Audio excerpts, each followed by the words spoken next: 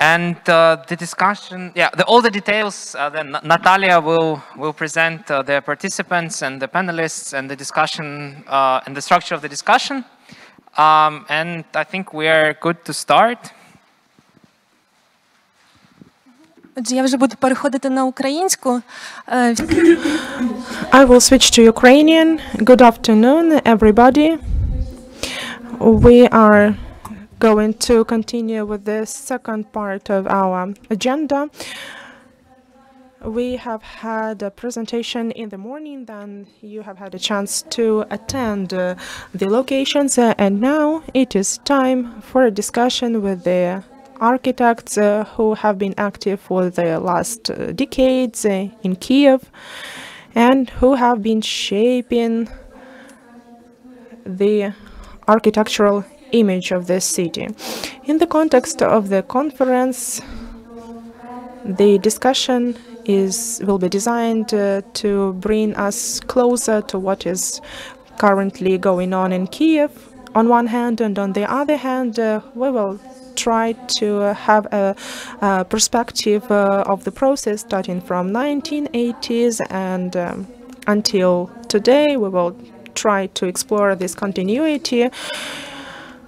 During the discussion, uh, we will look uh, at uh, the several trajectories of various architectural practices against the background of uh, individual trajectories of the architects who are present today.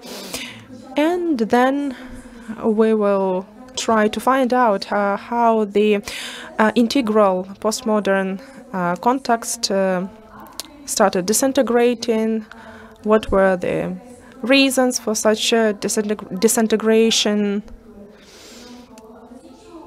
And uh, in the meantime, we understand that over the last decades we have been analyzing rather formal aspect uh, of the architecture.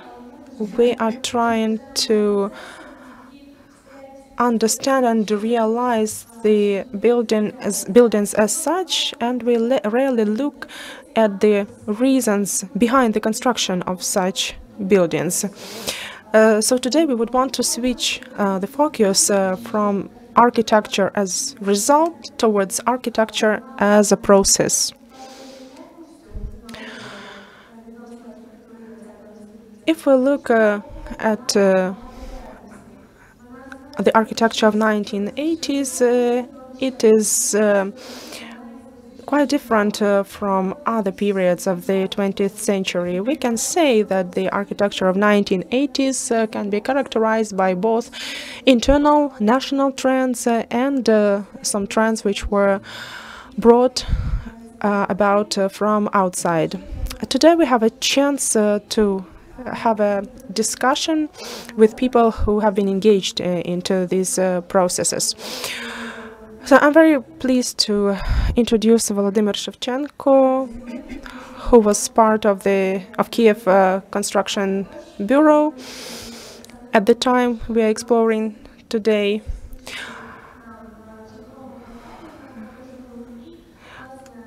Today, during the excursion, uh, Alexander mentioned uh, that uh, Volodymyr is author of the uh, housing uh, project uh, on uh, Naberezhno-Lugova Street. Anton Oliynyk is a co-founder of the Construction Bureau, a tutor in Kharkiv School of uh, Architecture. In the presentation this morning, Alexander mentioned uh, the uh, Rybalsky residential block, uh, so you can imagine what our second panelist uh, is uh, doing with in the framework of his professional activities. And uh, our third panelist, Dmytro Antoniuk, also co-founder of a construction um, academy, tutor, and um, if I'm not mistaken, Mr. Dmytro graduated uh, from the academy where, where he uh, currently teaches.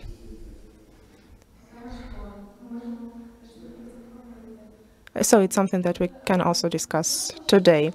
So we suggest uh, uh, to organize uh, our work in the following manner. So the first part will be uh, dedicated into uh, thematic narratives, uh, which are practice, context, and community, context and community, and based on these uh, three very vast concepts, uh, we can build up our discussion. So basically, let us now move towards practice. Speaking of your personal practices, what do you think makes them different from practices of other professionals? Uh, what were they influenced by? what are the competences uh, they are drawn upon. I would kindly ask to Mr. Volodymyr and Mr. Anton uh, to make references uh, to uh, architectural objects uh, which are already known to the audience. And Mr. Dmytro, you could maybe make references uh, to your teaching activities. Будь ласка, мікрофон.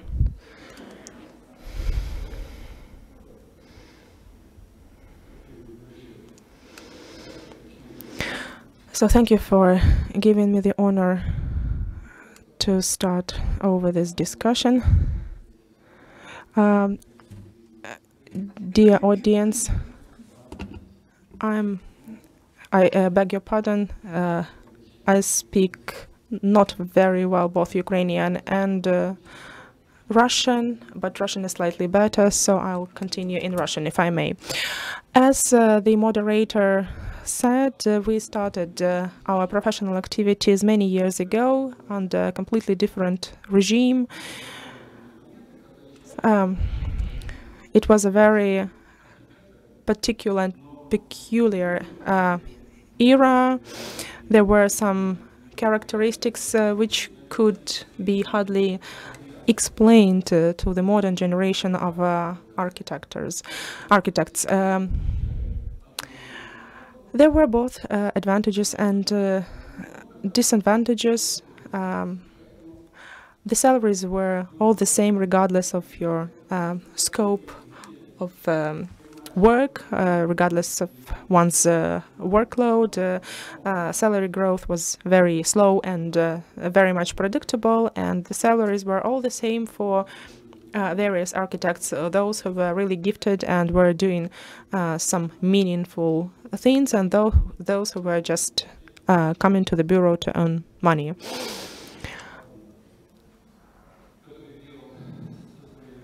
For example, there was an architect, and I was honored to be part of his uh, team, who was uh, the one to uh, develop the residential uh, block uh, in Podil, one of the first residential blocks uh, built under um, at that time.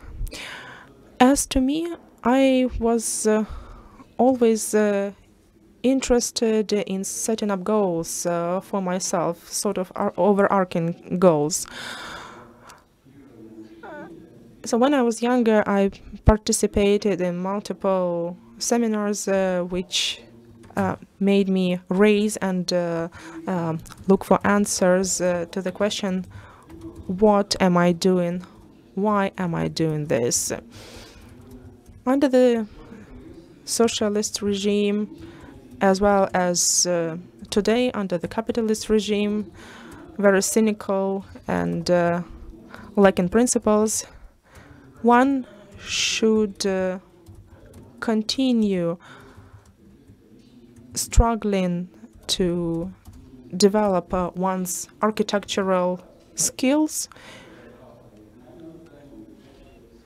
in order to do well one's job. Uh, so in order to conduct a reconstruction of a, of a building, one needs uh, to have particular skills uh, so that reconstruction does not uh, make fade away uh, the image of the author.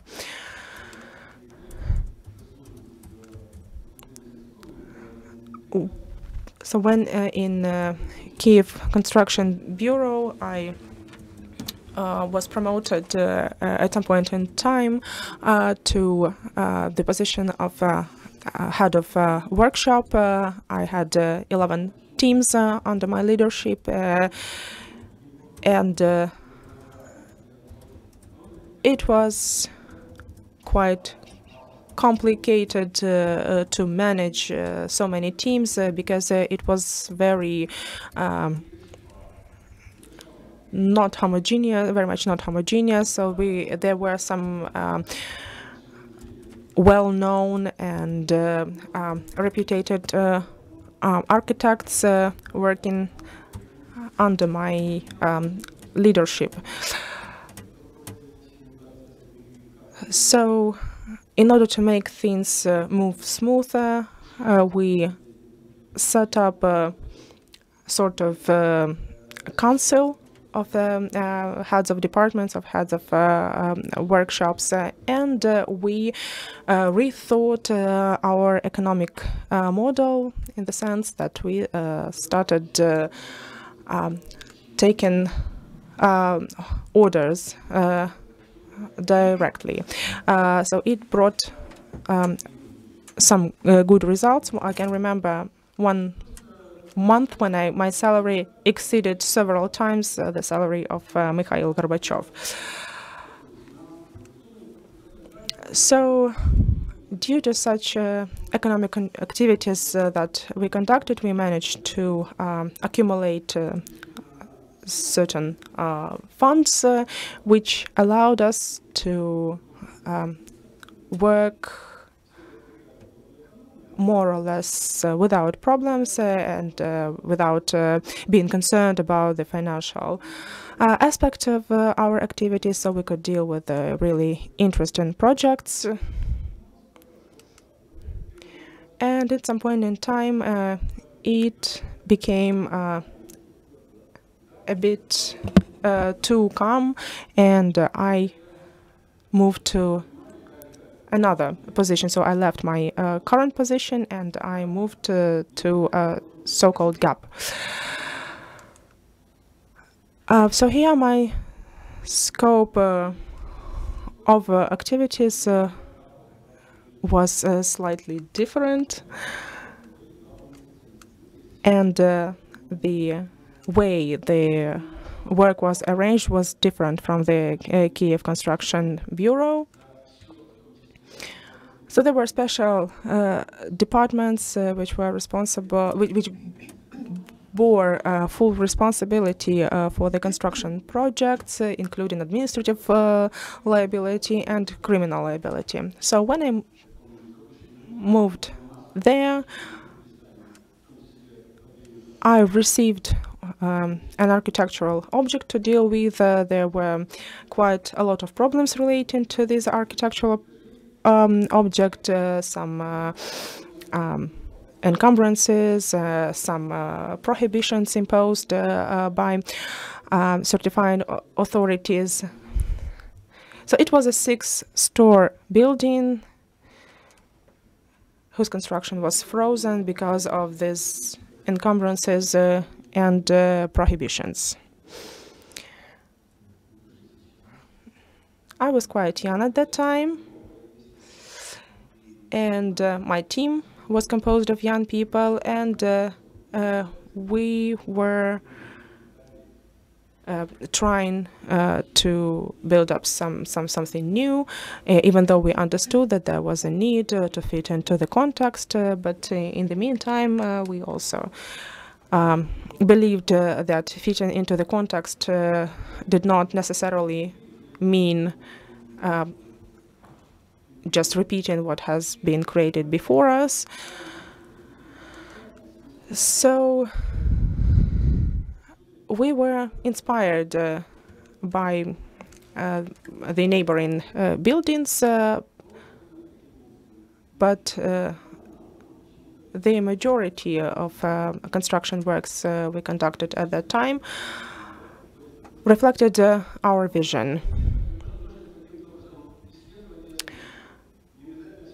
This is a phenomena which need uh, to be um, explored because uh, there are advantages and uh, disadvantages in each uh, epoch, and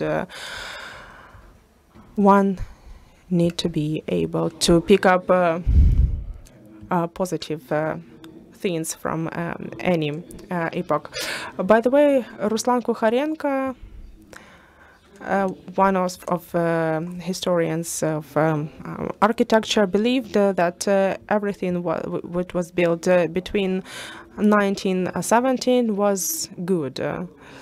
I can remember my conversation with him um, on on, the, on this topic, and I told him that uh, uh, his opinion uh, sounded a bit weird because could be understood if he were born before the revolution and uh, if he were um, just uh, conducting the, lifest- uh, the um, pre-revolutionary lifestyle in his everyday life. But uh, it was not true. He was quite a modern uh, person who enjoyed uh, contemporary goods and benefits. So, coming back to uh, uh, At that time, uh, there was a river port uh, and uh, ships uh, uh, with cargo would um, come to this river port and um, there was it was very noisy. their trucks would come to um, reload cargoes from ships to, to trucks so again uh, ancient buildings uh, does not necessarily mean that they are good. Uh, and I also can remember myself living on Shota Rustaveli Street. Uh, uh, the ventilation was uh, organized in a very particular way. It would not let in cold air. Uh, from outside, but in the meantime, it would ensure ventilation. Uh, so, we would uh, use uh, this construction of this of the house on uh, Shota Rustaveli uh, when developing uh, our project uh, and uh, uh, the um, commission which was that was checking uh, our uh, construction uh, would accept uh, such ventilation system because uh, it was it was a working uh, solution so that's how uh, we managed to uh, overcome this uh, problem with the excessive uh, dust uh, coming into um, into the house. We also suggested uh, to uh, make the uh, ground floor a non-residential uh, area, even though uh, there were um, a lot of, uh, of candidates, a lot of people who were willing to dwell in. But all in all, our suggestion was accepted, and it was indeed turned into a non-residential part uh, of the building, and um, finally. Um, offices uh, uh, just were uh, organized uh, on the uh, ground floor.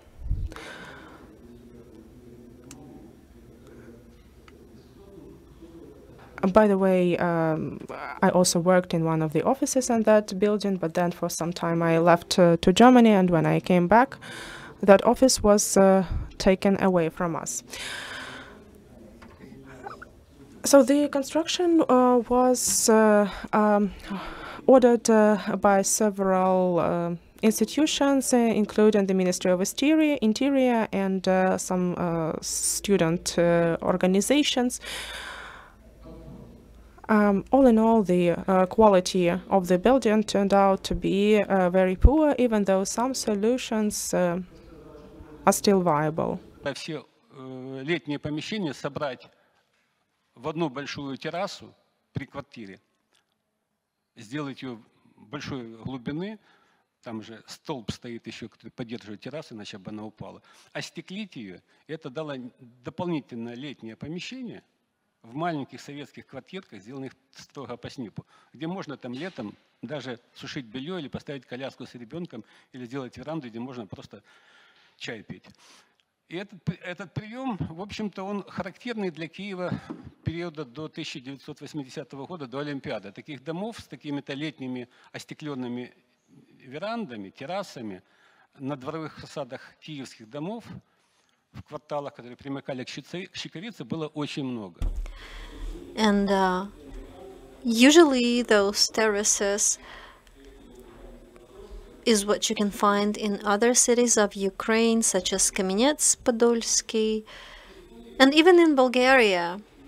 So there's different ways to interpret history. You can reconstruct the details. You can interpret what you see, whether it was constructed by some amateurs or professionals. So you do your analysis to measure this, to interpret it in a context and apply the same solutions even today in line with the regional specificities and other aspects. And that is a good thing, I think. If there are any questions, I am open to them. You can always catch me later. But anyway, we analyze continuously what what happens in the construction and in the neighboring fields. I had a very interesting conversation with one of the architects uh, today about the pressure from the businesses, from the clients, how they are trying to squeeze out whatever they can out of the architect. And so if you try to understand what the client wants and if you help them transform it into a well-informed concept, be it part of the social architecture, a public space, what have you. And if you let those businesses make profit, there you have your architecture. And many great architects used to say that architecture is not just about art, it's also about politics and economy, and I agree with them. So there's a lot to think about. Thank you.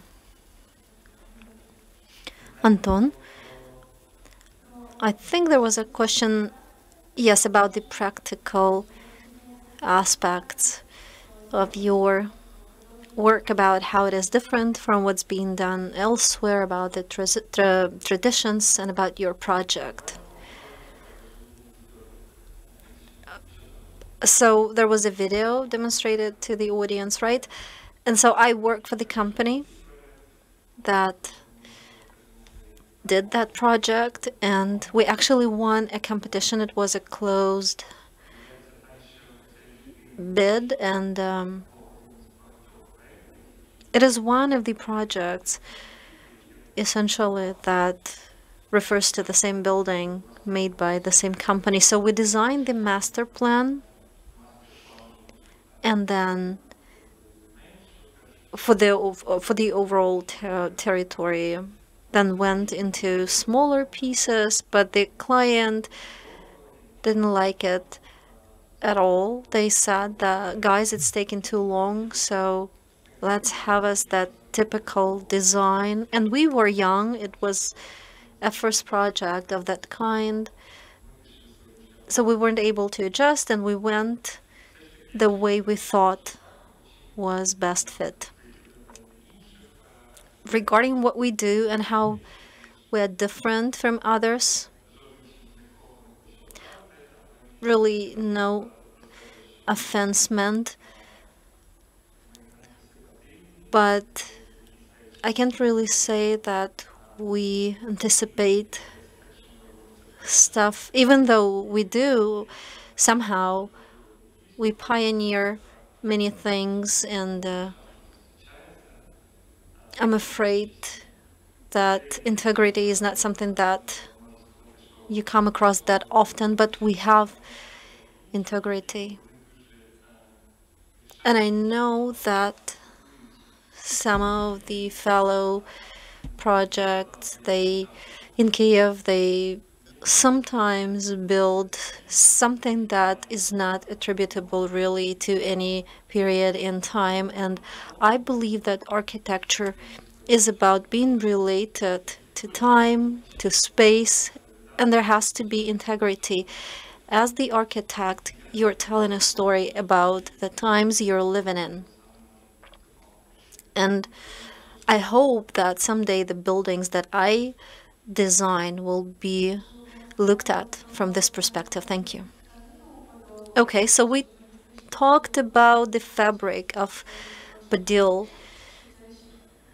Was your effort somehow referencing it, or did it have some other background? Yes, we borrowed a bit from how the districts were arranged in Podil because by the time we started working on our project, there was already the project known as Kiev City, designed in 2007 or 2008, I believe, when the real estate was skyrocketing in prices, several thousands of dollars per square meter. So there was this project of a business center with 3 million square meters comprising both business and residential premises for 50,000 occupants all in all. And so when they built the transport model, it turned out that it would take six hours for the employees to travel to work and then six hours back.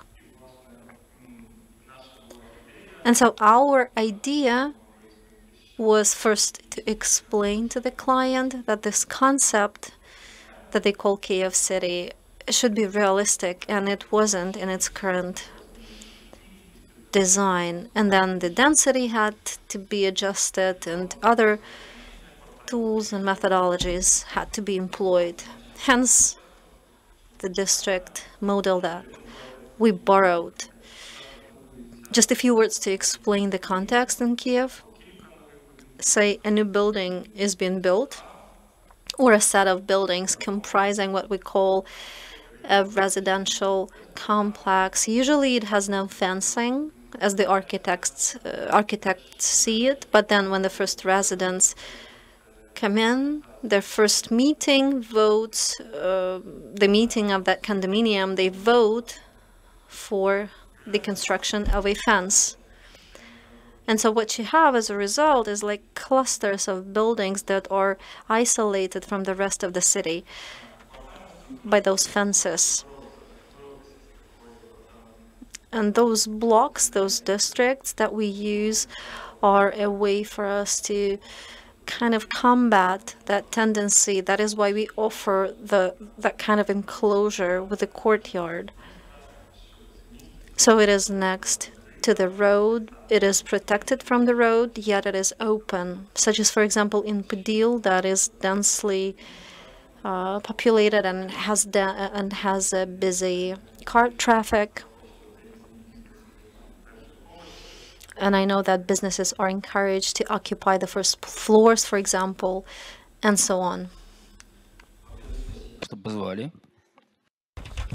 First of all, thank you for having me and I am happy to see Volodya, whom I haven't seen for a long time. We went to the same art shop different years. He was a year senior. And so the reason I'm mentioning it is because we know that before you bid in a tender, you have to go to school. And we have two schools for architects, the first one being KISI and the other one being the Institute of Arts. So Volodya and I, we went to the latter, and we always thought that the Construction Institute really uh, sucks. Sorry for the language, but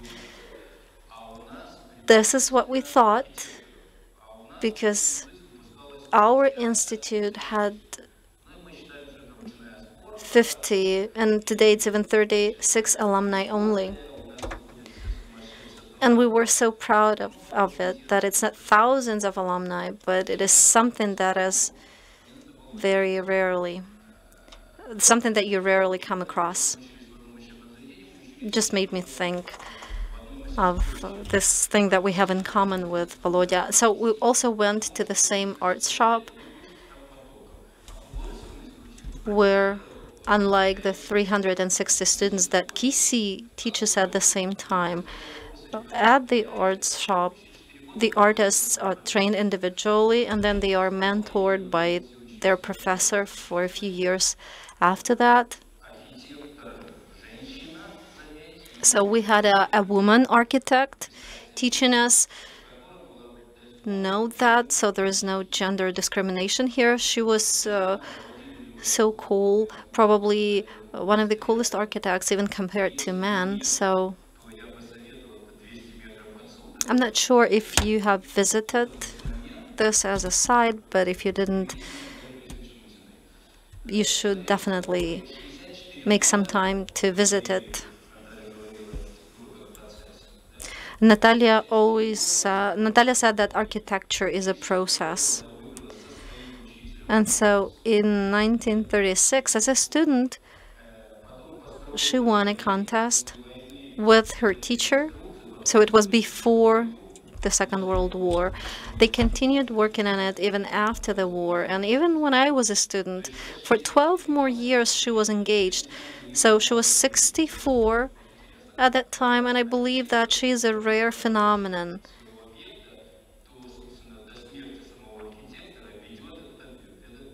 So when, when she spent so much time on the object, no matter the leadership in the country, other arrangements, so to her last day,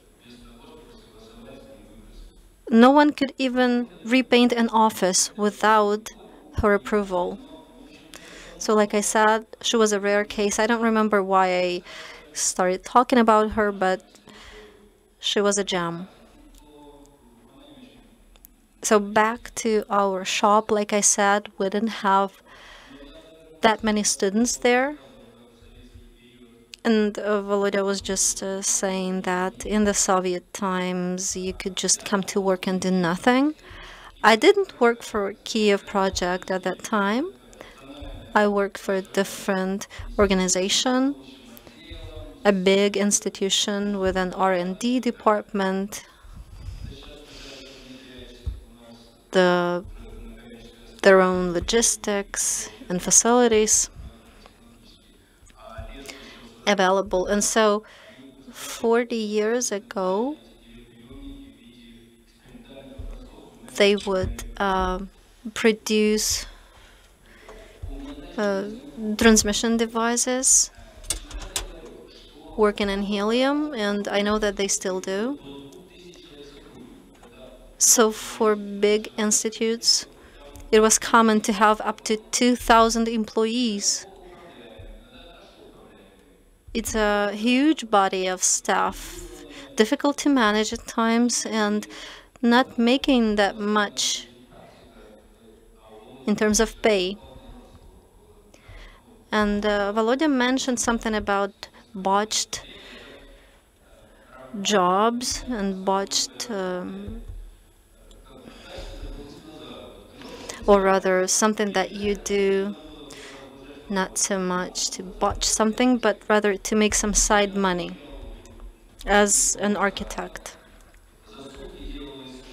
So I myself would travel to Saratov, for example, make a quick design for a trade fair, and I would bring back with me some down payment, and everyone at my institute would just sit and wait for me and uh, to bring that money. And then in a month, we would complete the job and get paid more than our management. But it was in those old days. Today it's different. Again, I don't remember why I started reminiscing about this, but okay, I had a question for you about the continuity and about the things that we inherit. So about that school you went to, anything that translated into what you do. Okay, well, compared to the institute for uh, the construction institutes, uh, where the architects architects get their training together with plumbers, for example, and other professions. In the art school, it's all different. They train their architects together with the sculptors, with other artists. So it's a whole different environment. And truth be told, good architects come out from both schools. So when I'm uh, saying all these things about the Construction Institute, you should keep in mind that I'm saying things uh, and um, the traditions continue luckily and good architects graduate. Okay, thank you. Next round, I guess. Our next round will be about the context and how it evolves and how it influences the architecture. If there's any influence to be mentioned, including in including in terms of economy and other aspects. So some reflections from you about the context, how you define it, and how you define its role in what you do. Because today, just like back in the 80s, there's some context, but it must be different somehow. All right, here's the thing context, I believe, is something that has two elements essentially. On the one hand, there's something emotional about it. On the other hand, there's some math that you can do, something that can you can measure, such as that building on the at the riverfront and the coal storage next to it, and some of other old Soviet buildings. At the same time, the, cli- the climate, the protection from the noise and the dust, and so on, it all has to be taken into account. And if you look at Podil, Podil especially uh, before 1980, and we know that a lot of those buildings, they were just demolished to prove something about this socialist city in its and its beauty. So anyway, all of that influenced the decision making. I mean, both emotionally and rationally, in terms of the aggression experienced from the environment. And so, same as Oliynyk and his team, we based our project on that of Podil before the fire of, I believe, it was of uh, the fire in 1814. So anyway, it was this old part of the town. There was no, there had been no plan initially. And this um, octagon network was also tilted at an angle and there were some footpaths not just uh, made by the humans but also some animal tracks. So all of that had to be managed somehow. And the district had also some features that we had to integrate into our project to ensure that there is this enclosure and protection from the road, from the dust, from the noise. And we know that in many old buildings of Kiev, angles were quite often stressed.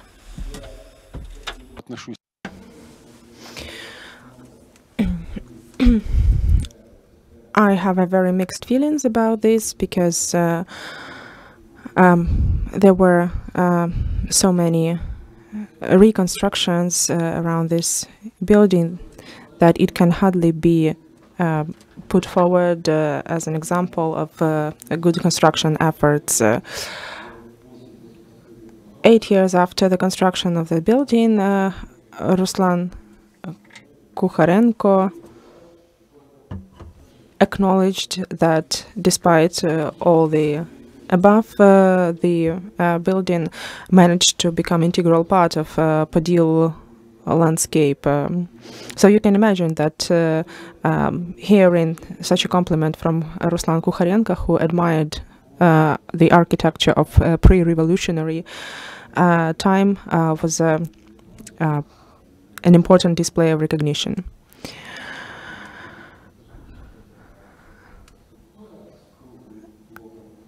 So um, the building was a uh, six uh, store building and it continues being so. Uh, currently, the central part of a round shape serves as a food court, which can which is free to be attended by anybody.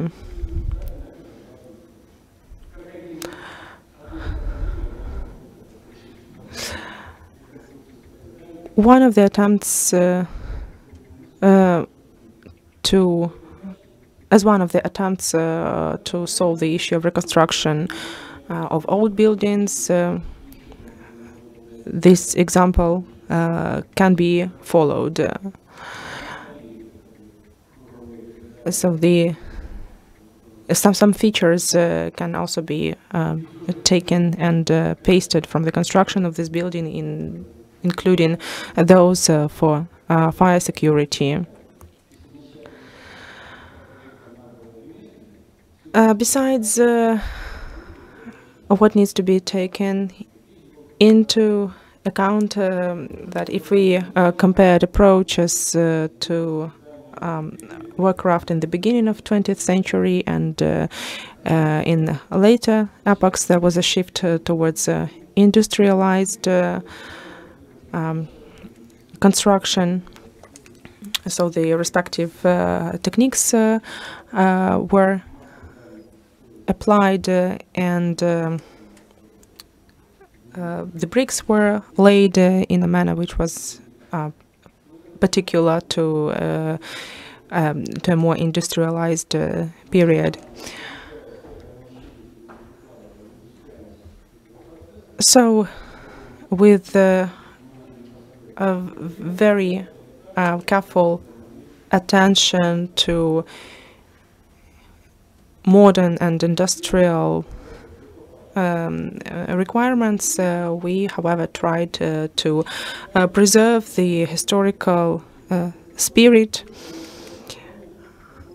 I cannot say that we succeeded fully.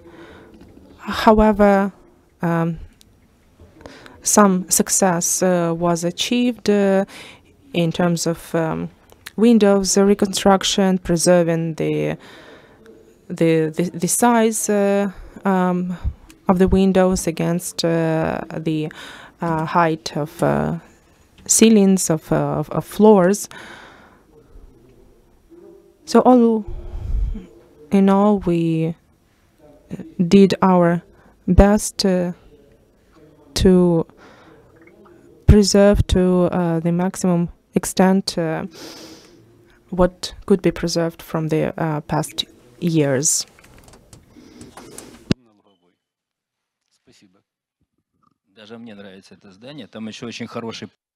I personally like this building very much. Uh, uh, the portal is very nice uh, and um, I strongly recommend you to uh, attend uh, this uh, building if uh, possible. It is uh, named uh. It is located on on the corner of Reitarska Street.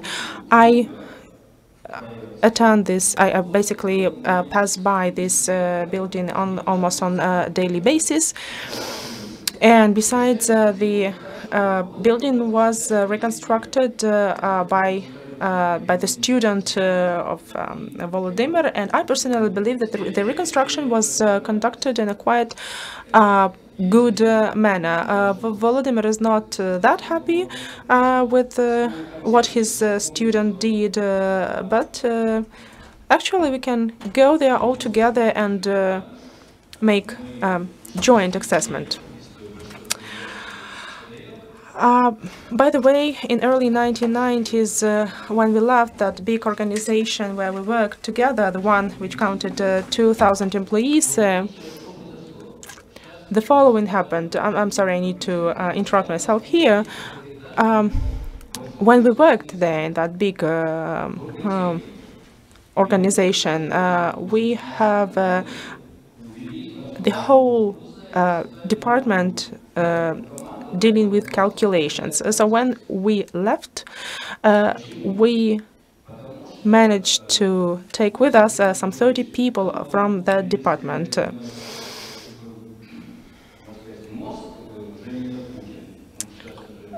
there was uh, um, one guy, uh, Yevhen Dakutin, there.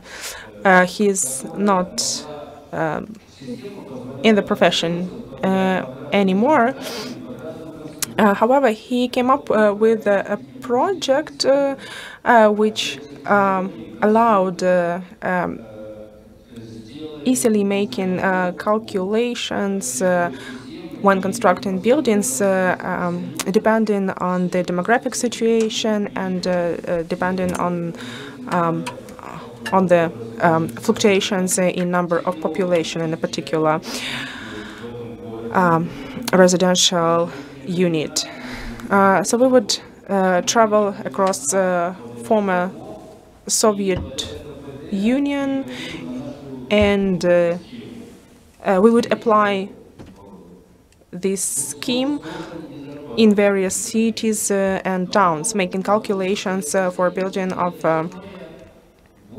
residential blocks and residential uh, complexes. But then uh, the Soviet Union collapsed uh, and we could not continue such practices anymore.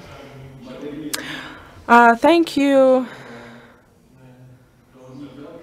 Unfortunately, I didn't mention to um, take uh, away anything uh, with me. I would want uh, maybe to um, to have some professional guys uh, or a computer, but everything was taken away before me. Mm, so from my perspective, I can say the following. The uh, architecture is very immanent. Uh, it uh, uh reflects uh, various aspects of environment and it bears various uh, features, uh, uh, historical, social, and others. What currently happens in Ukraine is the um, just um, oppression uh, of the market from the market. Um, currently, uh, developers uh, build residential complexes and uh, this is it. Uh, because of the peculiarities uh, of um, economic situation in Ukraine with no private pension funds, with no um, other uh, means uh, um, or uh, places to invest money, money is invested in real estate. I understand that architectures uh, would want people to invest in the architecture, but what happens in reality is investing into the uh, real estate. Besides, uh, more and more people are coming to the capital, so people need uh, places uh, to live, uh, so that's why they there is uh, demand uh, and uh, demand brings about even greater proposal. I think we may continue. Should there be any other comments regarding the context? I have a question to uh, Mr. Oliynyk. Um, so imagine we build uh, a new context, uh, new Kiev uh, with uh, commercial, residential uh, complexes, sort of ghettos uh, for uh, wealthy people. So, what do you think? What will be the impact on architecture in 30, 40 year perspective? What do you think? A very good question. So, in, in the first place, one need uh, to understand uh, why it happens this way. Um, so, the better Kiev, better Kiev becomes, uh, more people um, come to Kiev, uh, and uh, in the meantime, it works uh, in the opposite way around. Uh, uh, worse is life in other cities and towns of Ukraine, which are not Kiev. Uh, more people are willing to move to Kiev. Uh, uh, Kiev uh, is uh, less, less uh, has um, less dense um,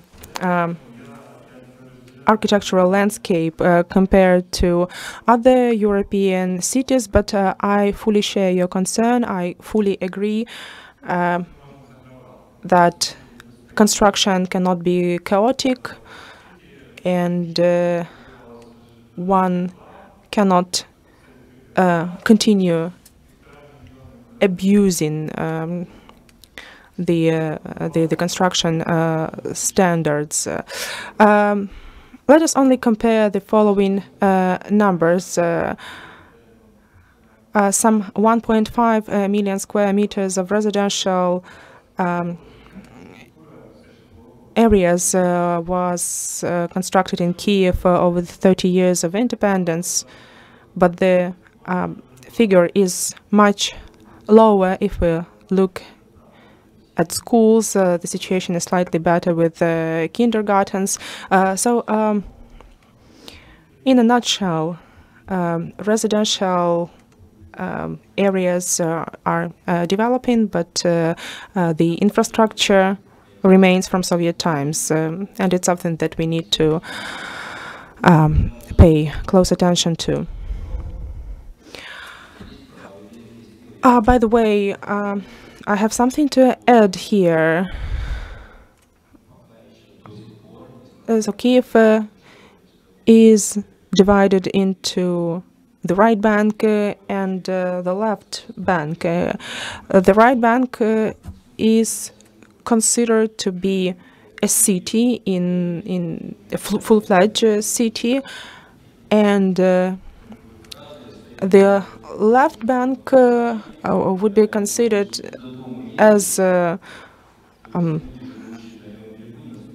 as like uh, uh, not city in, in the full meaning of this word word. And I can remember when I was. Um, riding metro at the time when I was riding metro, I one could hear um, the following conversation in a in a metro car.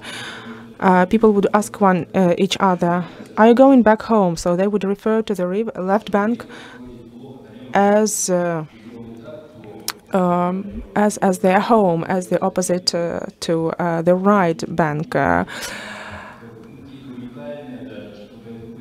um, in the meantime, uh, uh, construction uh, development in the left bank remains very rudimentary. So everything which is um, cultural um, aspect of life is concentrated on the right bank. Okay, thank you. Uh, let us make another um, circle among the panelists, uh, and then uh, the floor will go uh, to the audience for questions. Um, so, all professionals and non professionals uh, who are concerned by particular uh, project uh, form basically the audience of such uh, construction uh, projects. Uh, so can we uh, maybe um, analyze the composition of, of, of, this audience um, nowadays against the composition of, of this audience, of this community in back in 1980s? uh, what are the processes and happening inside these communities and it's a very interesting question indeed. Uh, in order to um, launch uh, a construction of a nine store building some 23 professionals uh, uh, need to be engaged, uh, uh, provided it comes to a very um, simple uh, construction uh, with uh, no complications relating to soil, peculiarities of soil, or other problems. however, under the um, market in the market relations uh, we, we, which underline uh, um, our uh, work today, one can hardly comply with these requirements, which used to be respected under the Soviet time. back in time, so the problems uh, which might uh, occur uh, were detected in advance.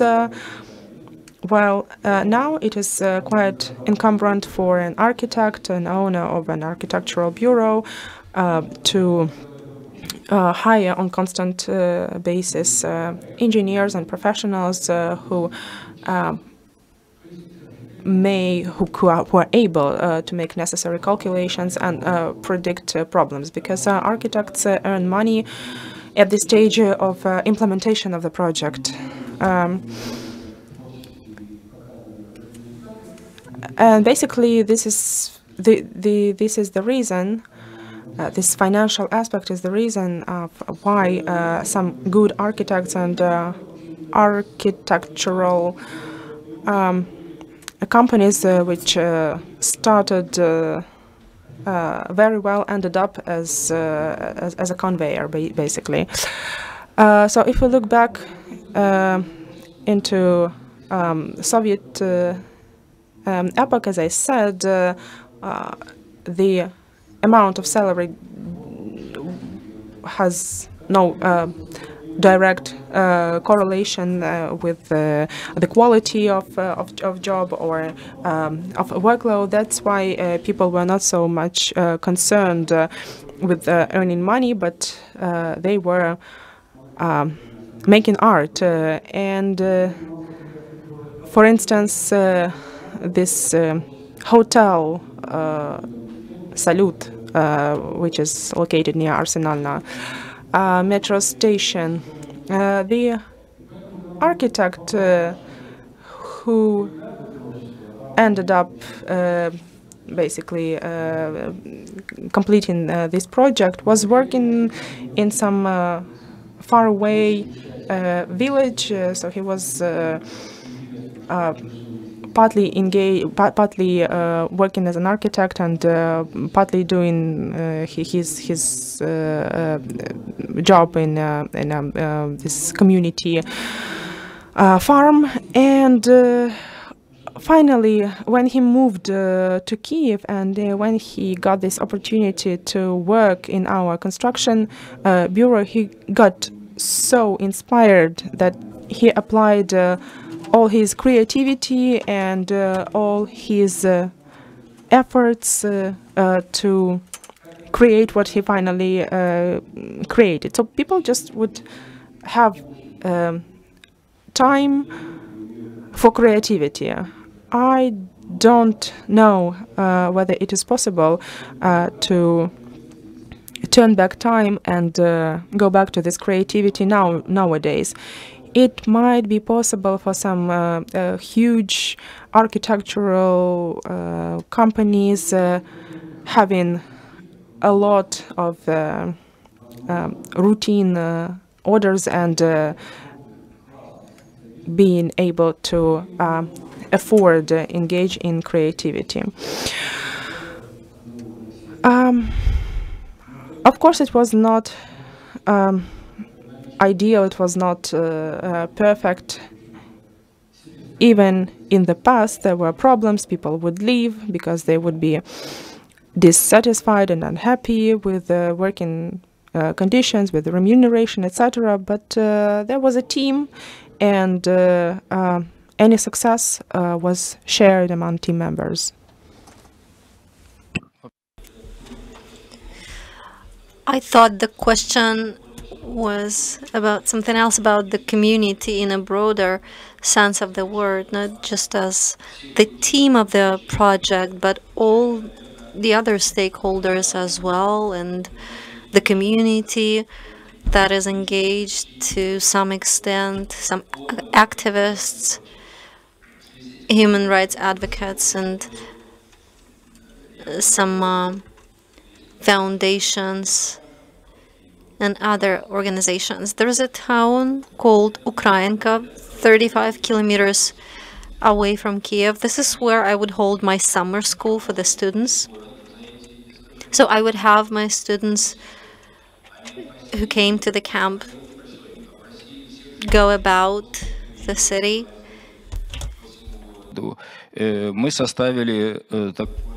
Interviewing the residents.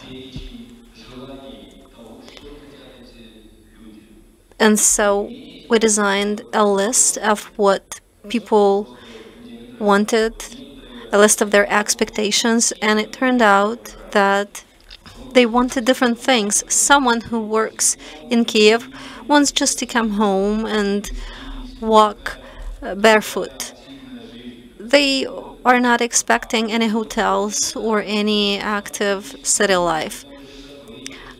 But those who live there permanently, they want cultural events, some social activities. They want this kind of engagement. And so we tried to design our suggestions for the how the town town could develop. And we even made this model that we put for everyone to see, and people could even see their houses. They could find it in that model, and they were so happy, just like children. It was a whole discovery for them that their hometown can be can look like that and they didn't even realize that their waterfront was the largest if you take the per capita rate and compare it with other cities of Ukraine. So unfortunately, we weren't able to operationalize the project but and we had this idea that if everyone would every everyone would just come uh, and hold hands so they would make this life circle, but it, it never became, uh, this was never fulfilled. And so people would come and see some original works of art. They never visit museums just routinely, even though the town is not that far away from the cultural life. So we would take different um, pieces of art, such as the paintings that you can see here, for example, we would bring it uh, to them as exhibits. We would do fashion shows right there at the waterfront, and everyone would be surprised, like, who, who, who are all these people? But the end was sad, I'm afraid. The mayor left, and everyone would fight each other. Uh, uh, damage each other's cars and do awful things like that.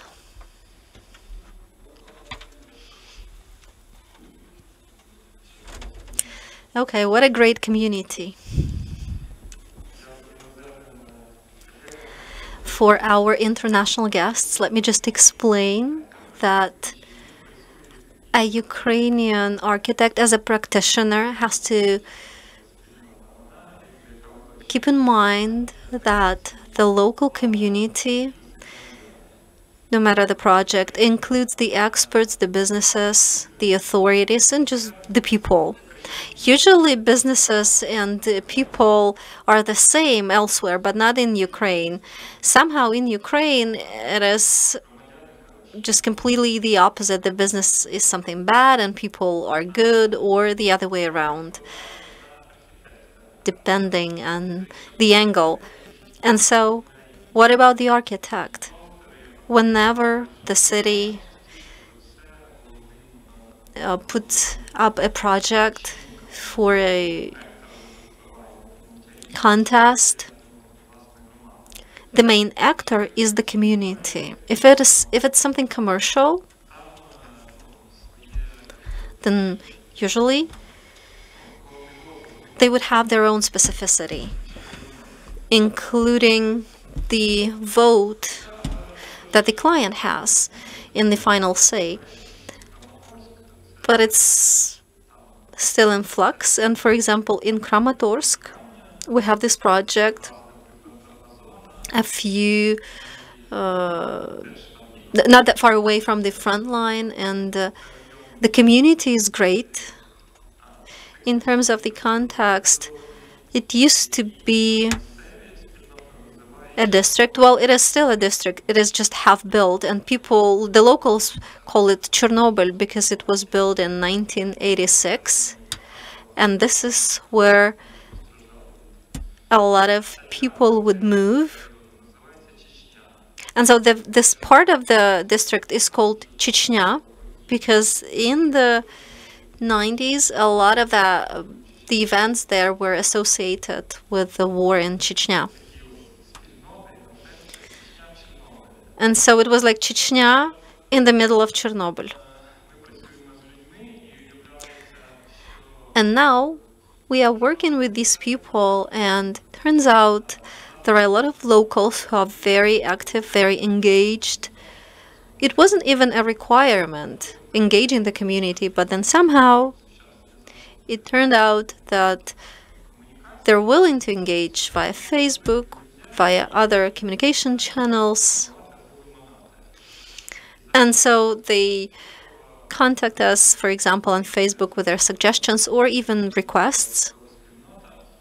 For example, the the biking or cycling community they were very active and they would advocate for the bike lanes to be integrated in the overall outline of the city and they managed to do it. And it's a great case i believe when people would reach out and would tell us what they want and we would make it part of the project.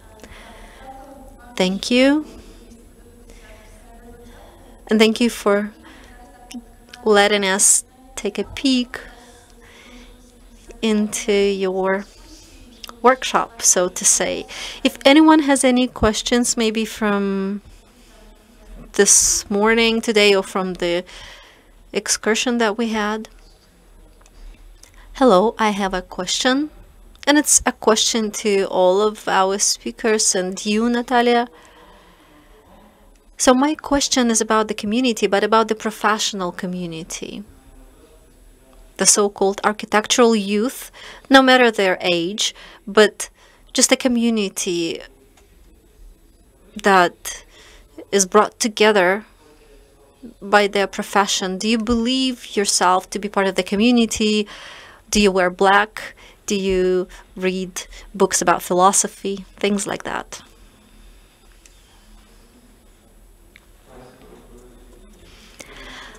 Oh, let me try to answer this one.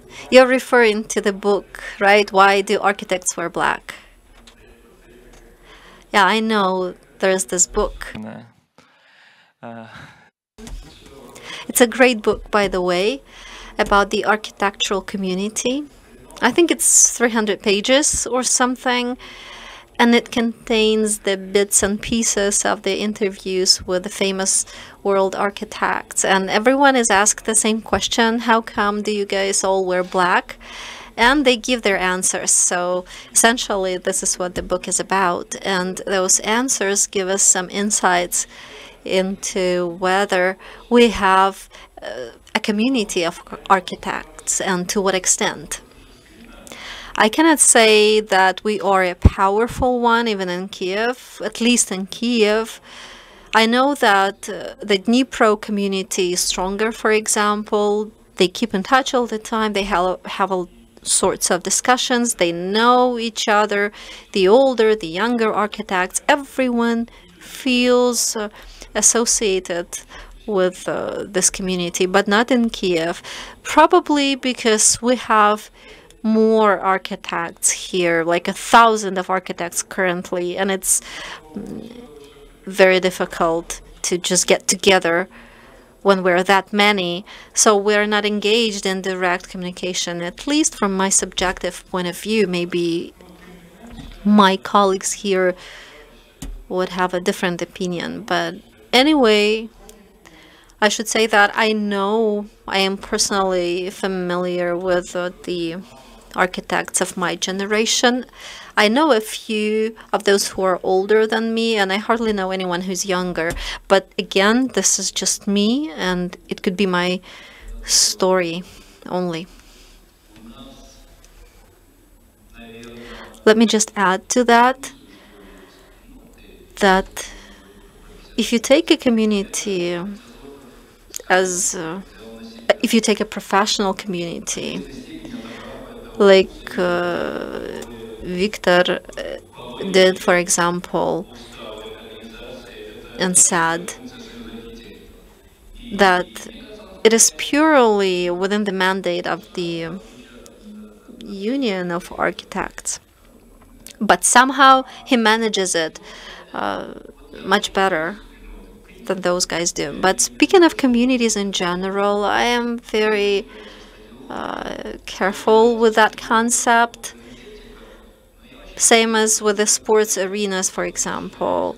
I like it for the energy, but if then if you put a hundred thousand people, if you bring them together, somehow they turn into this dumb crowd that is very easy to manage, very very gullible. So this is the reason, by the way, why I don't like those academic councils. 30 or even 60 people brought together. If you take them as individuals they are smart they're bright they're talented but as soon as they uh, come together as a council or as a board they just start talking nonsense. That is why my vote is for the community of 10 people. I don't know three people. One is my perfect community just a community of your own if you manage to have a consensus that is but speaking for other cities, I would probably also mention Lviv. They are a successful community, a well-developing one, including with the help of their union, local union of architects. Then they have this skiff festival, the quadriennale of scenography. And then in Kaniv, they just wrapped up their their sculpture symposium and it was a first time ever that they would hold a contest, a contest for the critics. They would have those junior uh, art experts walk around, evaluate, and then write articles. And that is how they held that contact contest. So we need critics as well. We need someone to evaluate, to give feedback, because in Kiev, we have none. I mean, we do not have a, a community of critics. Just this past Sunday, I attended that symposium, and can you imagine that people would even publish a paper, very smart one. I think that it's a great symptom it is something that we desperately needed. Maybe that is why we don't have the community because we have no critics and no criticism. But it is an essential element, I believe. Then again, speaking about the professional communities, something that Kiev is uh, lacking, the contests, the competitions When you have none, you have no critics, you have no criticism. Unless you have competition. Even if we have some bids, they're usually something closed where uh, the client knows everyone already, so it's just a formality. If you have open competitions, it's okay to have something closed, but given the scarcity of the former, I'm not sure that it's a good idea. And then we have entire districts in Kiev designed without a contest. I'm, I'm sure that the designs would have been much better if they had those contests, even if there had been some arguments and fights even. Like back in the Soviet Union, we used to have that, even closer to the breakdown of the USSR. I mean, people would get together and they would debate, and those debates uh, sometimes could be very much heated. Unlike today, what they talk about is those offshores that they have and that their wives have, and that's it. Not like in the old days. And I would say that we need this um, vitality, if you will. Maybe the town planning council, even though I, I know that not everyone is a fan of that concept, but still, there could be different circumstances, even if you have been paid to say some nice things about something that is of very poor quality. Everyone would see immediately that you're doing this for money, but it would be up to you whether to engage in this kind of affairs. But we don't have a body like that at all, and I don't think it's good for the city.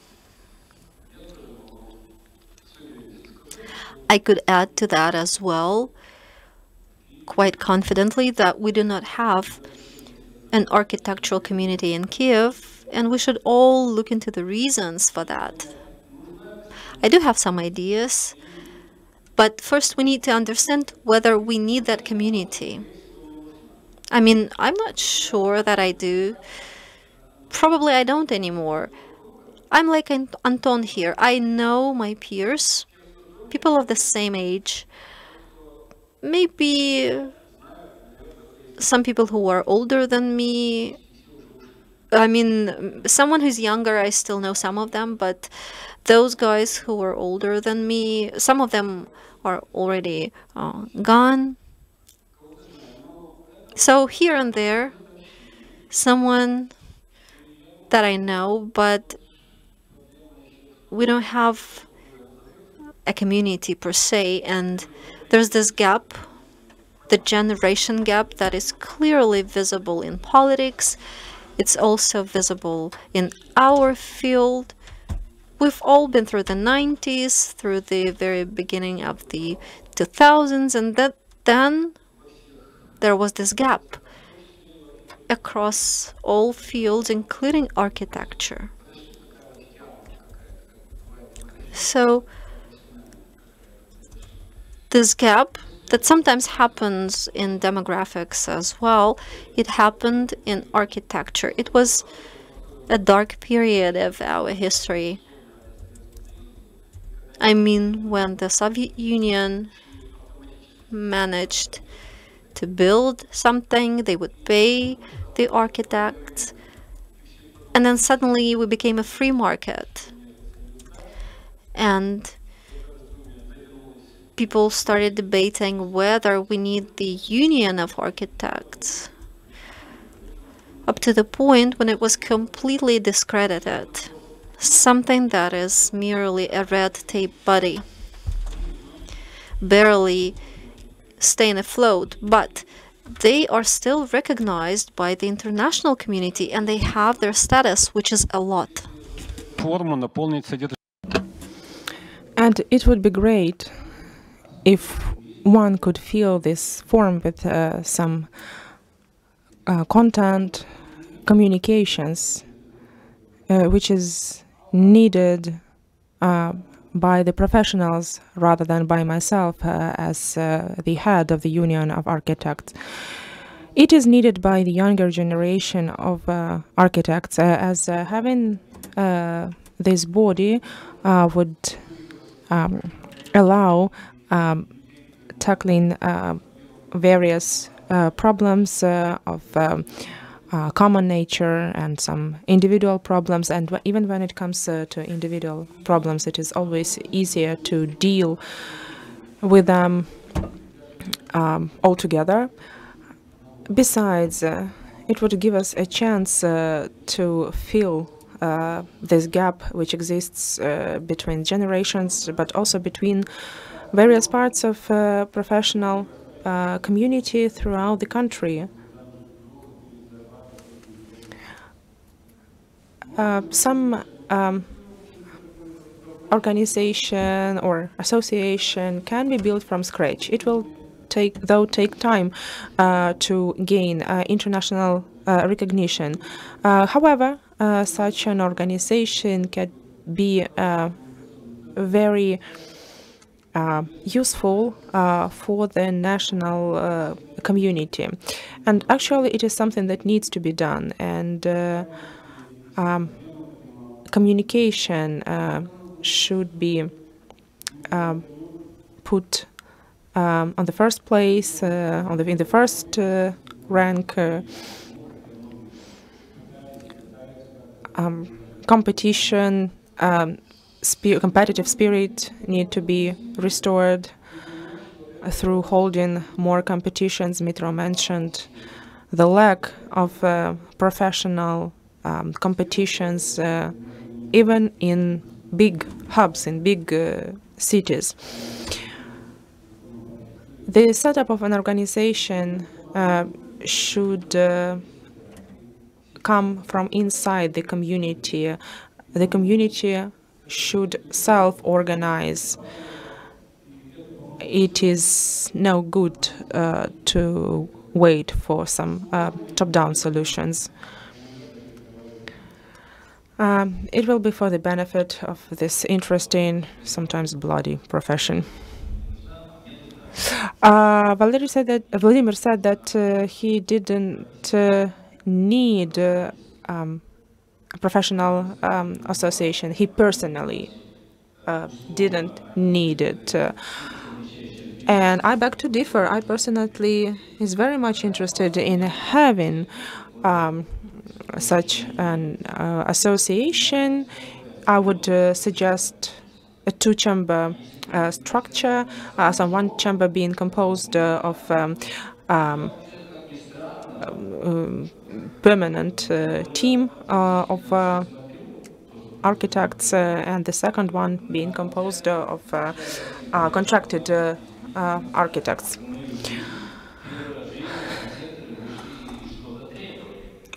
You know, a um, couple of months uh, ago, I attended uh, um, the uh, first uh, uh, demonstration uh, organized by Arctic architects ever in my life. the demonstration was took place because of the draft law 5655, which um, literally deprives the architects of copyright uh, to, to, to, to, to their designs. The uh, demonstration was uh, uh quite massive. Uh, uh, some additional um, requirements were articulated alongside the main um, the, the, the main proclamation. But again, it's, it was the first demonstration that I can remember uh, ever, and I believe it's it's it's it's positive. Uh, don't you think uh, that uh, some well-known developers uh, uh, may hinder the process of establishment of such association? let me please add few words here. I was misunderstood. I don't mean I didn't mean that uh, I didn't need uh, the association. Uh, what I was trying to say is that uh, uh, due to my age, I wouldn't uh, take much benefit from this association, but I truly believe uh, that uh, the association is needed by the community. And uh, from my side, I'm ready uh, to contribute as much as possible. And what I'm trying to say here is that you, as uh, representatives of a younger generation, need this association more than I do. Uh, it will also would also enhance your um, professional uh, opportunities. For example, I have uh, clients uh, who would uh, um, address uh, to myself just because they don't know anybody else, just because they don't they know uh, me very well. Um,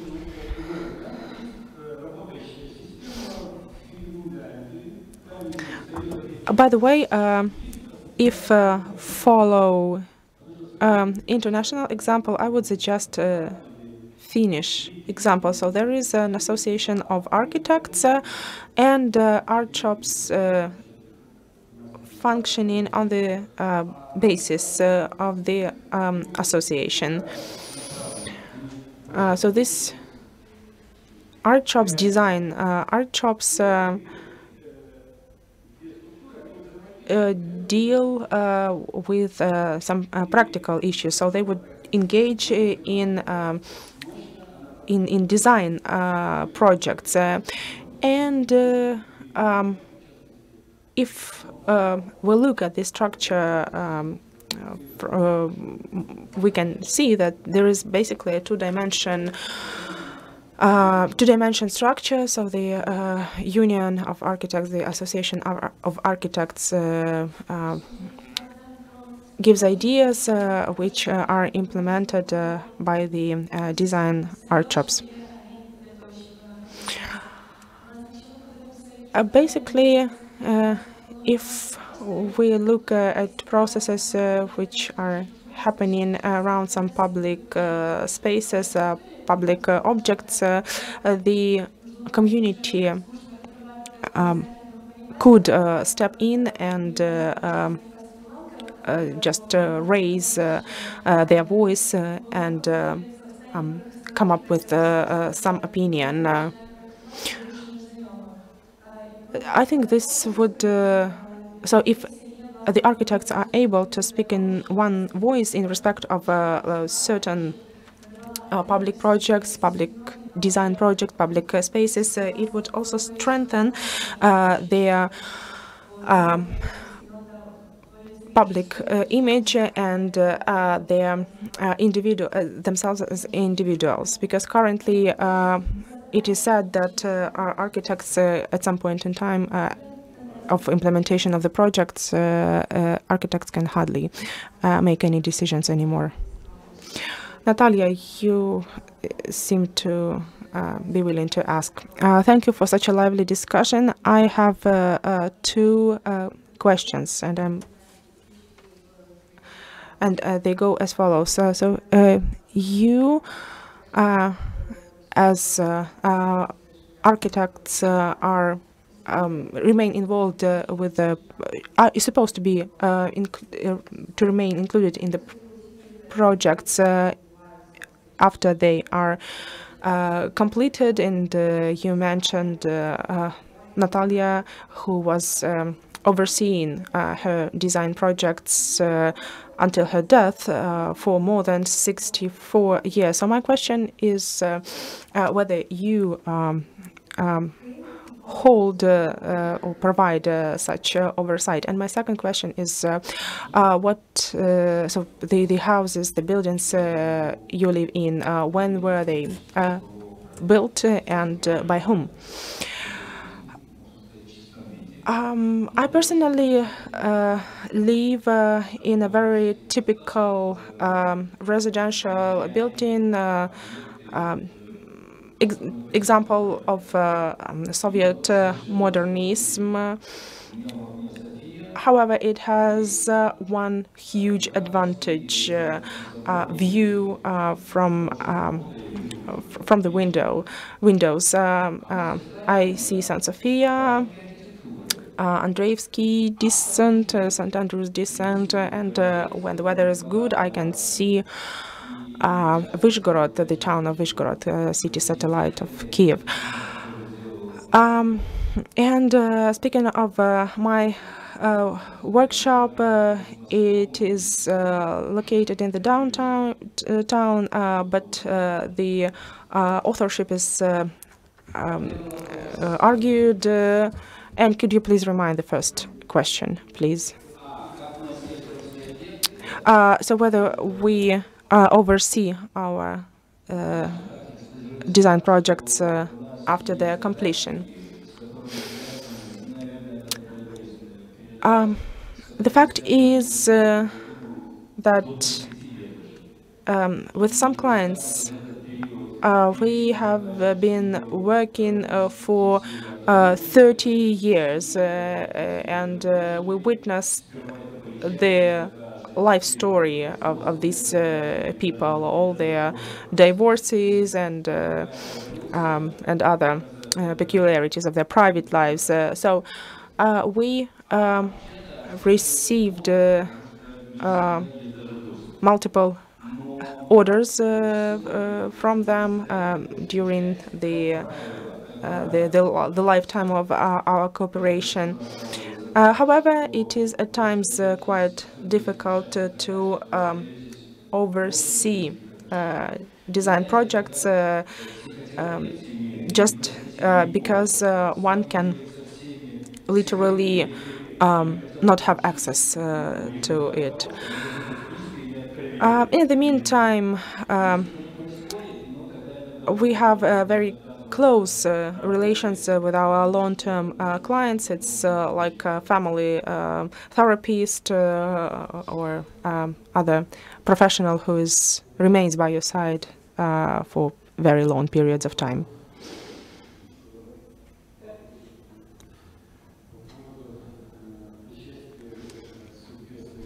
Uh, so speaking of uh, the oversight of uh, our uh, projects and uh, uh, relations with people who own uh, these buildings or architectural objects.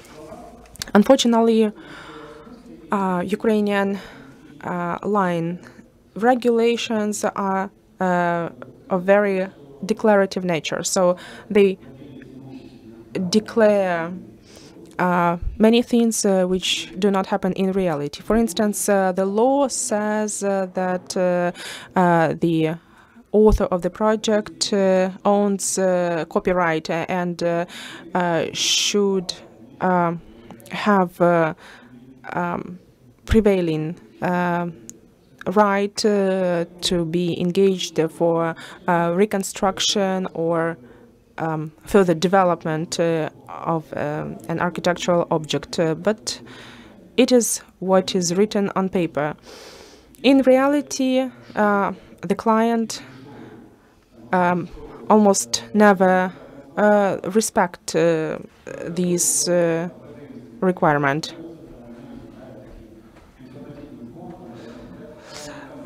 And uh, if there is uh, any collision, any um, conflict, uh, it um between the client uh, and the architect, it rarely draws uh, public attention. Uh, unlike the disputes um, around copyright be between um,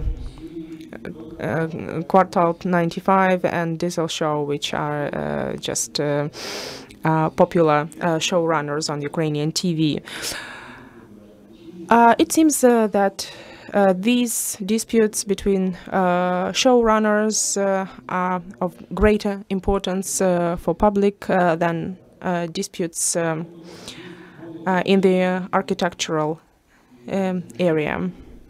So this is much um, field for reflection and efforts to be applied by um, the uh, professional community to change the state of play.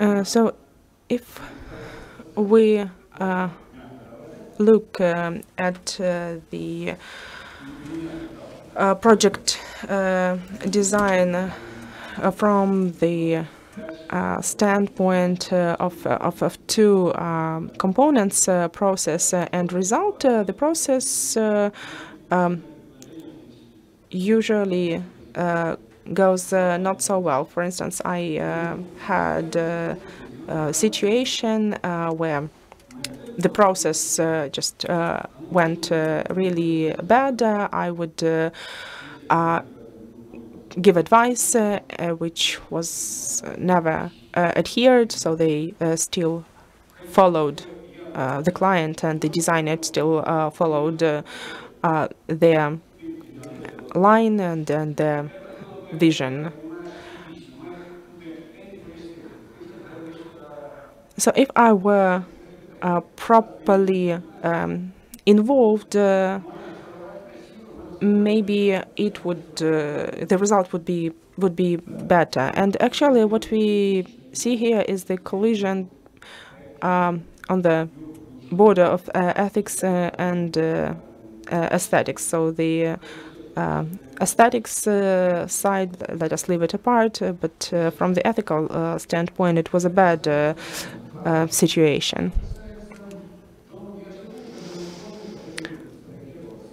Um, speaking of my um, house, uh, uh, of, of uh, my home place, uh, I live in a um, residential uh, building uh, which was built um, according to my design project. It's a nice building with a nice view.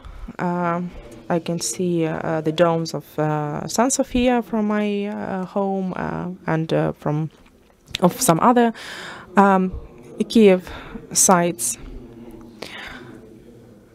So the residential building I live in is is quite nice. Uh, it won um, the first prize on um, Soviet Union um, uh, competition. I have uh, documents uh, which confirm uh, the, the the house winning the first prize. So I wish everybody being able to construct a house and uh, to live there. You know, as uh, when we were children, uh, and uh, we were just uh, showing off. Um, speaking of our parents, and once my daughter uh, told to uh, her mates uh, who were showing off their parents, saying, "My father is an engineer, my father is a uh, fireman," she said, "My father is the one who built this house."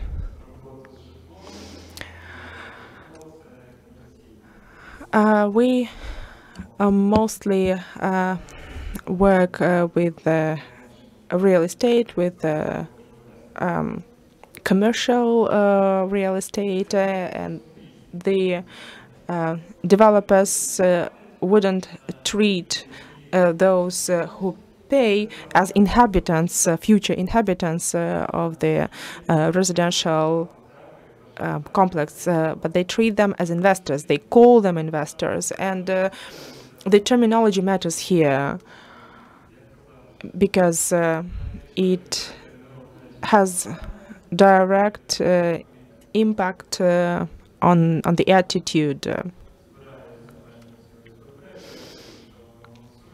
and in the further uh, perspective, it also um, brings about some peculiarities. Uh, for example, um, when designing an, a residential complex, architects would usually not um, envisage uh, any fences around uh, the the residential complex. Uh, but the first thing the investors do once they manage to establish this association of owners of apartments of of, of this, such a residential complex.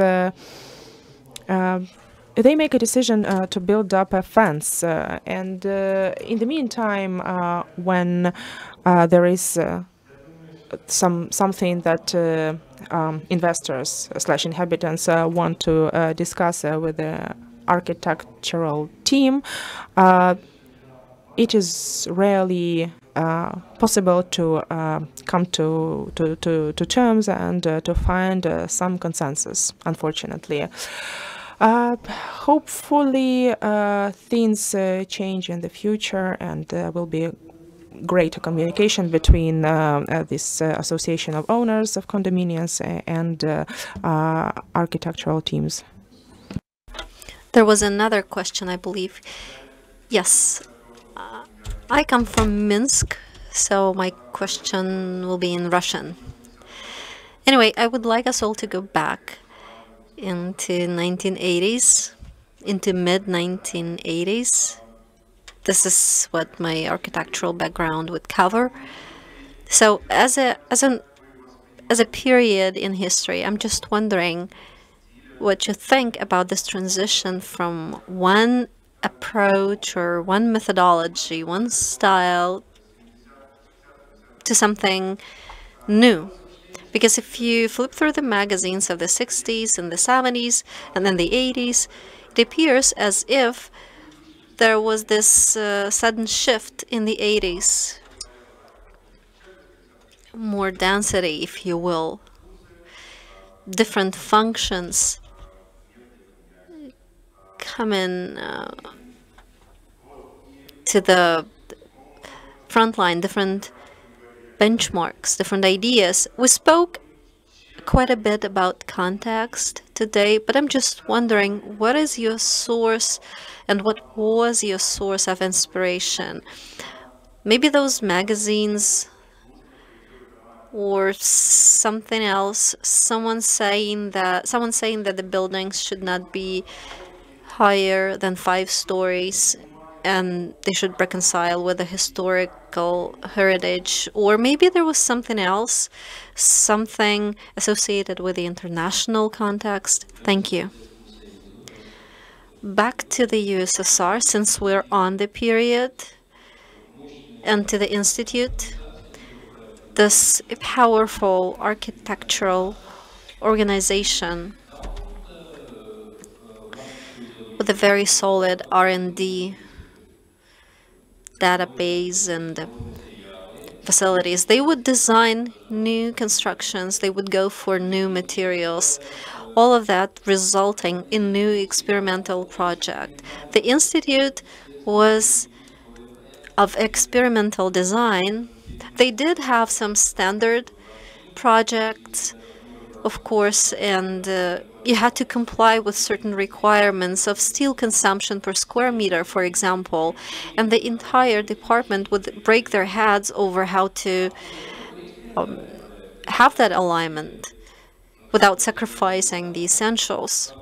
At the same time, as Natalia would uh, recollect, and if you take the Supreme Council building, that would be just uh, one example of one approach. And the other buildings were completely different, as if designed by someone else. So I agree, there was this transition. I wouldn't say it was a, a transition to a different style, but to a different quality, maybe. Yes, if we look at the standards, some of them applicable since 1963 and then we look at the buildings designed in 1975 I don't think the gap was that big. I mean, that transition was that apparent. Something happened in the 1980s. I believe it was the inertia from the 1960s in terms of design, in terms of applicability, in terms of operationalization. There's this 10 to 15 years gap just to see that difference uh, translating into something practical. And if you look at some of those designs in 1960s, they were phenomenal for, for their time. They were, weren't just uh, implemented, weren't fulfilled. Uh, I understand that the colleague here is not uh, very much keen on the Soviet Union,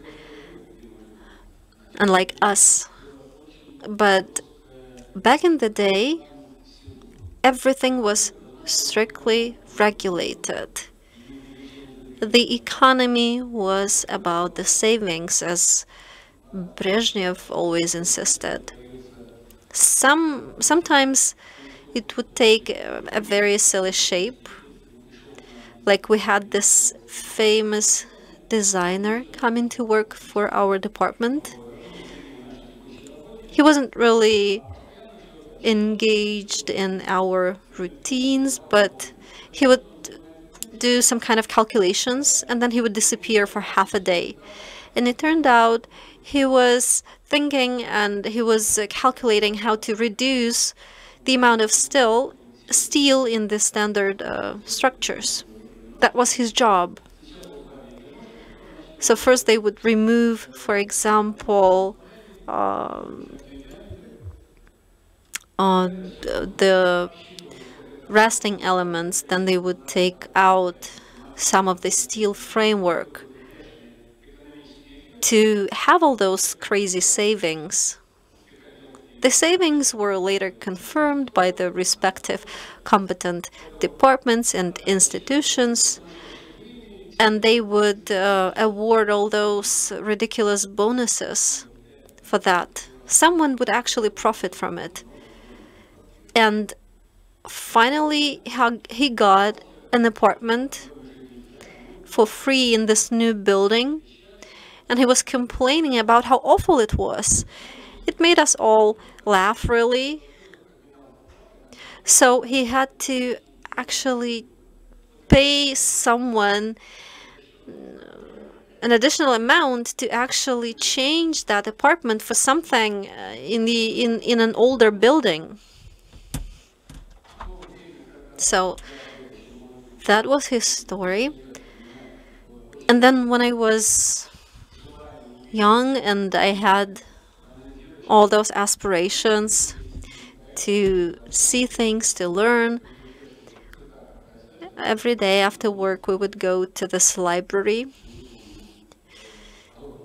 on Rodninska Street. I think, yes, it was on Rodninska in front of the Holosiev Park. It took me 30 minutes to get there. It was open till 8, so I had roughly an hour and there was just one architectural magazine. It was French, translated into Russian, coming to us from Moscow, probably. It was designed in blue and purple, as I remember, but it was our only source of information at that time. And then in the mid 80s, when we had more information more freedom after the concept of uh, glasnost or free speech was advocated.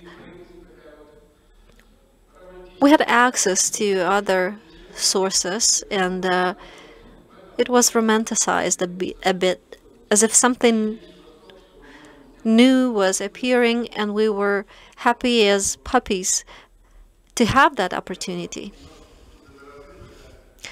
So maybe just to elaborate a little bit, did you have any favorite role models, favorite architects?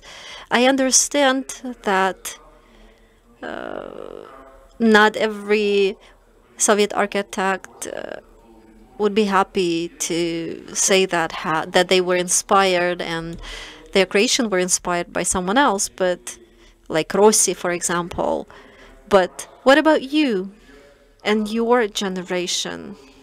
We know that Rudolf was very famous here, but not in Europe. So there were all those shifts happening and all those bits of information that we would get from different sources and interpret modernism and postmodernism in our own way. Our own way. Yes, Corbusier inspired quite a lot of us. Bolorudov, then Dobrovolsky coming back from Japan. For the first time in Ukraine, yes, that's true. And that wasn't his only contribution. I mean, he had some foreign currency and uh, he was subscribed to Japanese magazines and we would visit him and just look through those magazines. But the information was scarce, that's true. We have more access to information this today, but Corbusier and Kenzo Tange, those are a different generation of architects, I believe, and they are they just do not fit into a timeline. They more than that. They go beyond that.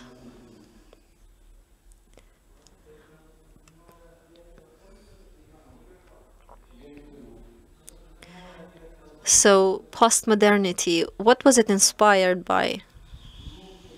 Those projects. It was an attempt of a context-based architectural project integrated into the reality. If you refer to it as, as postmodern, sure, you're within your rights. What about the Podil and the house in Podil? Well, we had to stick to the regulations and the limitations because because of the history and the heritage.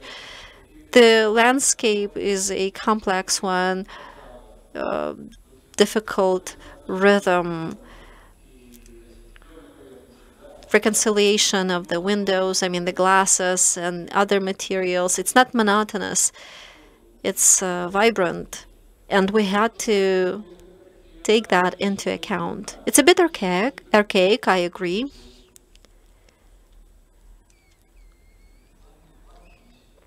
Well, that's great. It's a unique project in a way. Well, architects sometimes, you know, what we design as architects is not so good. Other objects are great. So we're humans. And again, it all depends on how much leeway you have. I didn't have much of it back then because I had to work fast. I had um, a tight deadline and uh, I had to manage a team of contractors and just somehow negotiate. Their leader was Pyotr Petrushenko, by the way, who built this new wing of the National Arts Museum after the war. It used to have a different uh, shape, the L shape, before the war. I mean, this wing was built later.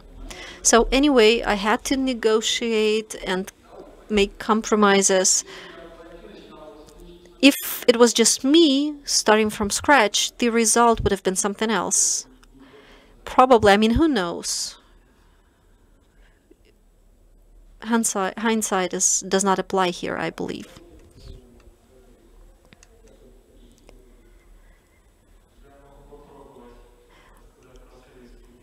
I could also add a little bit about the Soviet times. I was just uh, uh, I just uh, had my oath as the pioneer, gave my oath as the pioneer, and then the Soviet Union collapsed.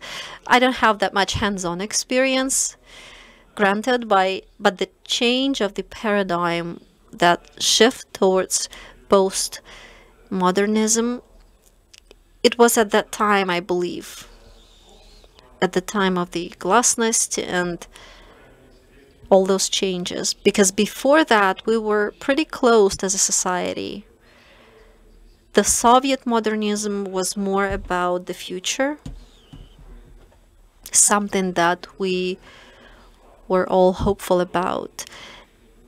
And then there was the shift towards agreeing with the context. You know, the windows would open, the doors would open, to let something new in. So this uh, term, postmodernism term, and uh, someone referring to to it as a simulacrum that applies to architecture as well. And just to add to what Vladimir has said, architects rarely stick to a style. Usually, they do what they believe in at a certain period of time. And then when we get new information, we process it, we integrate it, and we respond. So this was the period, I believe, for processing and responding. Yes, Anton just tried to answer that question for me, and I will just add that I agree with him. But I do have a style as an architect. There was lots of instability at that time, historical, economical, different challenges different solutions. And being in the middle of that chaos, you just had to look for a way to develop at least some kind of style, even if it weren't always accurately identifiable. I did have my tools, I did have my signature um, formulas. And then when the Soviet Union decided to abandon the classics and just go and move towards postmodernism, we didn't have a foundation to rely on per se, but we tried to find a vision to reinvent ourselves and our challenges and it would yield different results every time. But if we're talking about a style, you need a stable uh, environment for that, a stable setting. We didn't have it, fortunately or unfortunately. We also had an architect, Pyotr Krasilnikov. He was all about style, and he used to say, using uh, using uh, the language that is not printable sometimes, but he used to say that we had to stick to a style, and he had this building facing Andriivska church, and the the wall, one of the walls, was just completely solid. I'm not really a fan of of postmodernism, just as a person. I don't see something that adds value in it. Whereas modernism is all about the added value. Regardless of what the Soviet Union did with this concept and how it applied it, killing some of the projects. So it was like European burp, so to say, something that is distorted and completely destroyed in a way, like those French factories. But if we're talking about the added value, if you have it, then it's architecture. If not, it's just construction. Thank you. Another question. Do you think it's possible to somehow influence the change in um, the number of stories, the high-rise apartment buildings around the those uh, buildings that were built back in 1938 and their foundation is already uh, deteriorating. Should we stop it? Sure we can we can stop we can suspend whatever we need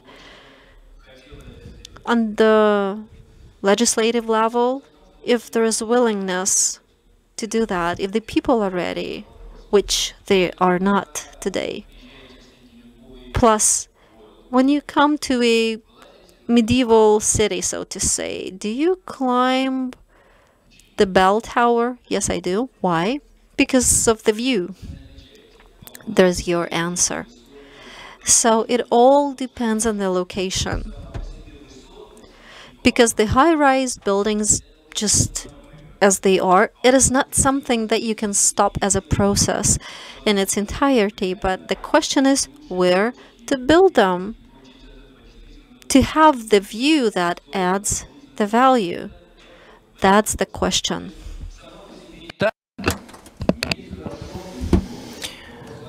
Um, so having multi um, multi-store uh, buildings uh, is uh, not uh, bad or uh, good. Uh, it's just a fact. everything depends on the right location. but it can be easily stopped. answering to your question, the Kiev City Council should vote respective regulation. Um, I personally do not believe that uh, doing this uh, is uh, an easy thing. Um, in other countries of the world, um, this issue is uh, regulated uh, through uh, zoning, through um, so the zone, like the area, is are delineated and and uh, some constructions are allowed in a particular area and uh, some are not. Uh, so um, coming back to um, your question, uh, so the fact is uh, that uh, when a developer um, buys or rents uh, the uh, uh, the land plot, there is no limitation in price for um, apartments or other uh, real estate units which will be built uh, there. So they, from the very beginning, from, from scratch, a developer uh, may um, decide that the price would be 50,000 hryvnias per square meter. And this is how it works. Uh, if there is zoning, uh, then, uh, or some area delineation, whatever uh, name you choose, um, then uh, the uh, city council may indicate that the price in a particular area cannot go beyond a certain amount. That's how it works in New York. In New York, the density of construction is extreme. however, they um, um, uh, take measures uh, to uh, delineate areas on Manhattan many years ago, over one century ago, and it works perfectly until today. I fully agree with what you said, uh, and um, I can make uh, parallels uh, with Montenegro. It's a tiny country uh, really tiny with the tiny economy. Uh, and uh, still uh, they manage uh, to regulate uh, um, construction in um, Uh, in, in, the in the in the neighborhood uh, uh, in the neighborhoods uh, which are close uh, to the seashore. for example, in the first zone, which is the closest to the sea, it is forbidden to build a multi-story building. even more, it is only allowed uh, to uh, construct uh, buildings of certain in certain style uh, with uh, tile roofs uh, only. There are some exceptions, but they are very, very expensive for the developers, of course. besides, there are uh, restrictions uh, which are related to uh, green belt of a certain area. For instance, if there is there is there is um, there are olive trees in the area where a developer wants to make construction, such a developer will need to obtain a bunch of uh, additional uh, permissions, uh, certificates, and so on and so forth.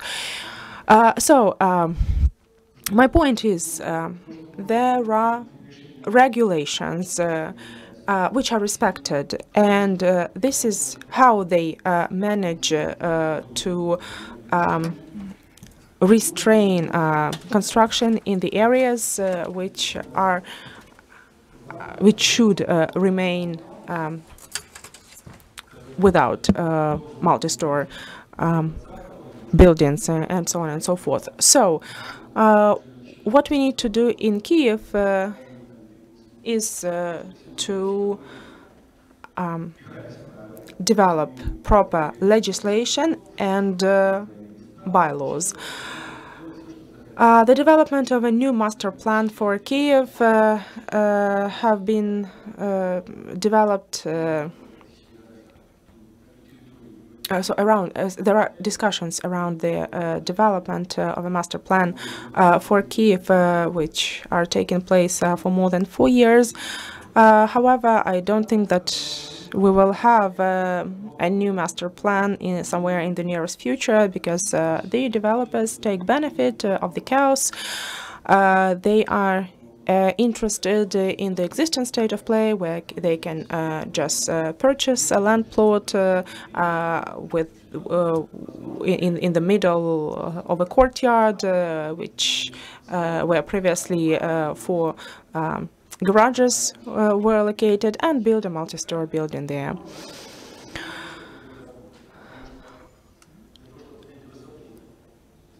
Again, um, the administrative, uh, state administrative authorities uh, uh may uh, have a vote uh, in, in, in this uh, uh, discussion, so they may come up with some additional regulations which would allow uh, to um, restrain uh, the um, number uh, of stores allowed in a particular area. Um,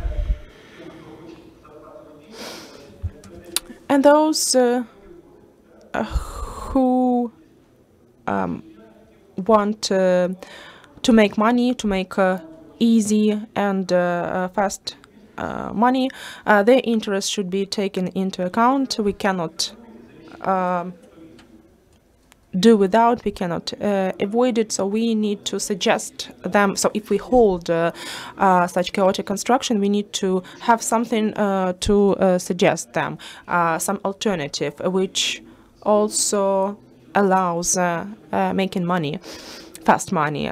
such an alternative, basically tourism can be such an alternative. Um, but again, uh, uh, the most and uh, foremost important uh, um, effort which needs to be applied is uh, the uh, development of proper regulations at both legislative and um, second law, second legi and, and regulatory levels.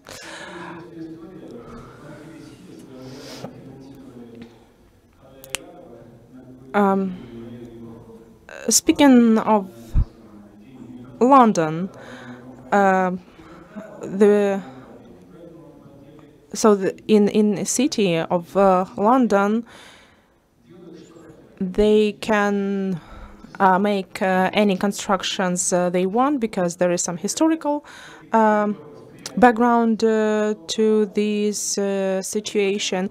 Uh, so mm, several centuries ago, King uh, Jacob uh, would uh, take money from London bankers for um, some military campaign. He would never return this money, and this is why he granted self-governance to London bankers, which translated in the permission uh, to uh, build uh, whatever buildings they want in the city of London. however, they there are some uh, uh, restrictions. Uh, there are still some restrictions in place, and they do not um, allow uh, chaotic construction. Uh, Paris, uh, in Paris, they chose um, a, a, a, different uh, path.